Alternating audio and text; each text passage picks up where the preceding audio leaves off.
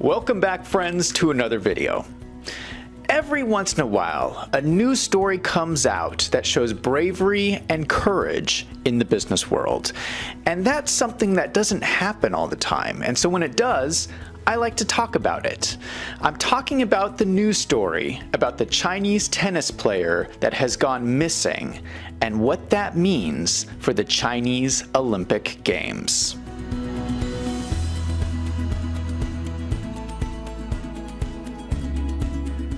Let me start out by saying, in this video, I will be making comments that are critical about China.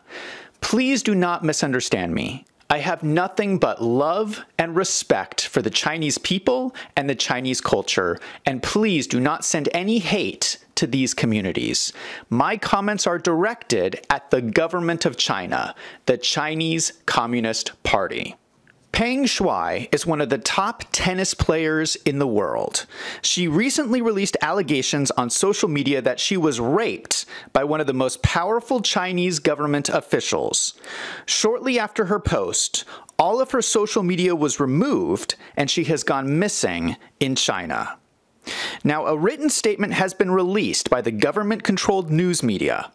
In the statement, Peng Shuai takes back her earlier claims, but there has been no confirmation from her that the statement is true. Yesterday, the government controlled news media released video footage showing Peng Shuai at a local event and eating at a restaurant. But in the video, Peng Shuai does not speak. Her coach is in the video telling everybody what date it is, so you know that it's a recent date. And you can hear the video director's voice in the background directing what is going on.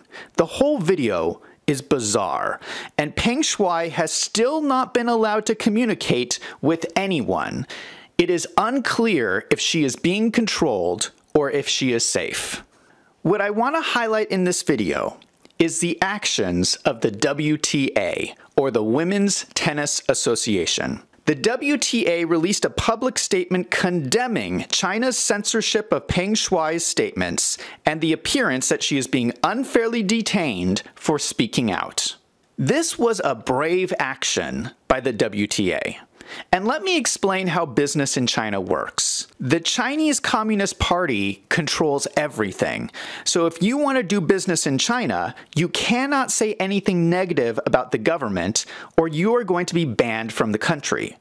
The Chinese market is huge, so the smart thing to do if you want to make money is to go along with the government's actions. So the WTA's actions were brave because China might just ban tennis in the entire country if they feel like it threatens their power. The WTA made a choice they decided that the safety and security of their players is more important than making money. They gave up all of that potential revenue to stand up for what is right. You should not be able to rape women and then arrest them when they speak out against you. That is not okay. And it is not okay to look the other way so that you can make money from it. This is something that I talk about on this channel. When you make business decisions, you should not only look at how much money you are going to make, but also base your decision on what is right.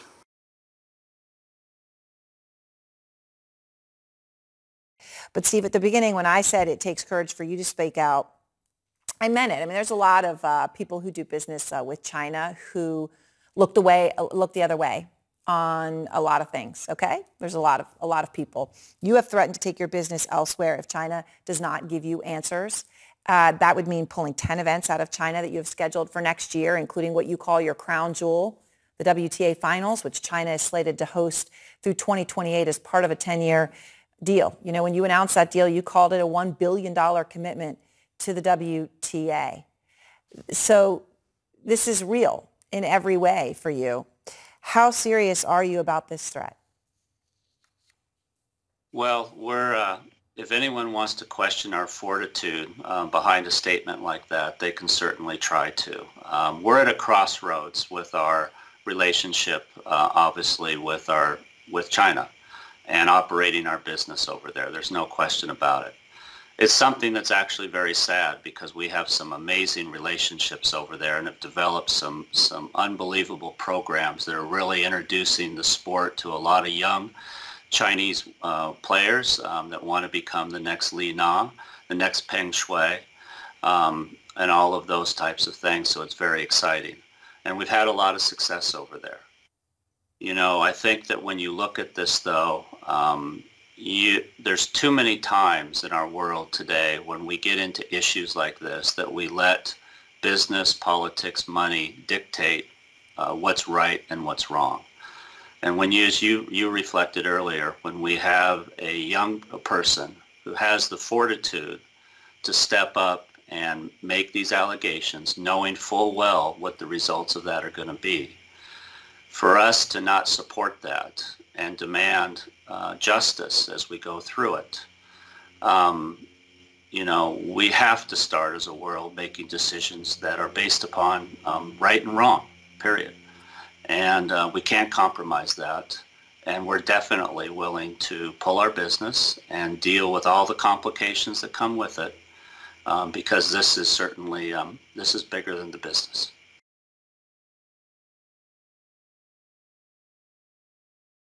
I also want to point out another brave action by the Wall Street Journal.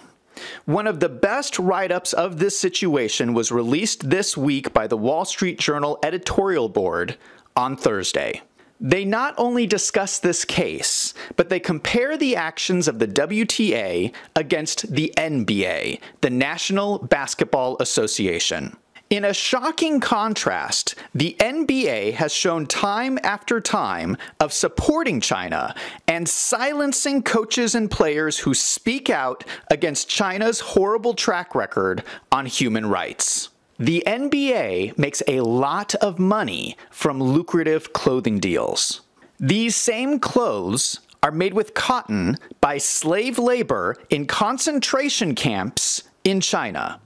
These camps are used to carry out genocide against the Uyghur Muslims in China. The Chinese government disputes this, but the evidence is not debatable. We know this is going on. The US government has declared China's actions genocide against the Uyghur Muslims. So the NBA and the WTA show two shockingly different approaches to making business decisions. The WTA showed bravery and courage in standing up for what is right, and the NBA has not. The NBA does not want to risk access to the lucrative Chinese market, and the NBA does not want to lose all the money they are making from slave labor. Now, you'll have to excuse me if I seem a little worked up from all of this, but have we learned nothing in this country? Why are Americans making money by forcing slaves to work in the cotton fields? What are we doing? I do not care how much money we are making. We should not be purchasing any clothing in America that is made using slave labor. Sometimes business decisions have to be made by doing what is right. Bringing this back to the Wall Street Journal. The people who read the Wall Street Journal are typically wealthy and successful people, probably people who have investments in China. So, for the Wall Street Journal editorial board to print that article took courage because they probably made some of their readers uncomfortable. I know that the media gets a lot of hate these days for fake news, but this is an example of real journalism. They reported the uncomfortable truth about what is going on in China, as well as the hypocrisy of American business. That took courage and bravery, and it is good to see that journalism is alive and well at the Wall Street Journal. The 2022 Beijing Winter Olympic Games are less than 100 days away, starting on February 4th. A lot of businesses are going to have to make difficult decisions. There is a lot of money that comes from the Olympics involving sponsorships. I really hope that businesses think about their decisions. Are you making your decisions based on money alone? Or are you thinking about what is right? More than 200 human rights groups have written an open letter to NBC, BBC, and others to cancel their deals to broadcast the Olympic Games. In this letter, the human rights groups called the Olympics the Genocide Games and compare them to the games hosted in Germany in 1936 by Adolf Hitler's Third Reich. Here is a list of the corporate sponsors of the Olympic Games. These companies are going to have to decide are they going to say something about China's actions or are they going to stay silent? I'm going to read them out because it is important that everyone knows who is supporting these Olympic Games. Airbnb, Alibaba Group, Allianz, Atos, Bridgestone, Coca-Cola, Dow Chemical, General Electric, Intel, Omega, Panasonic, Procter & Gamble, Samsung, Toyota, and Visa. What are these companies going to do? Are they going to act like the NBA or the WTA? I'm going to say this again, just in case you did not hear me the first time. You companies are sponsoring a sporting event that 200 human rights groups are calling the Genocide Games. At some point, you have to ask yourself whether this is a good business decision or not. It's hard not to see the parallels between what happened in Nazi Germany and what is happening in China today. World War II did not happen that long ago, and there are people alive today who remember what happened. Six million Jewish people were killed in concentration camps. How could something so horrible happen?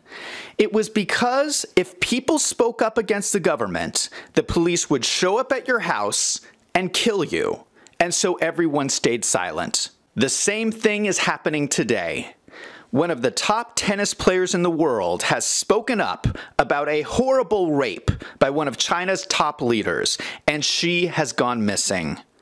How can these companies stay silent and support the Olympics in 100 days in order to make a buck? Now I want to hear from you.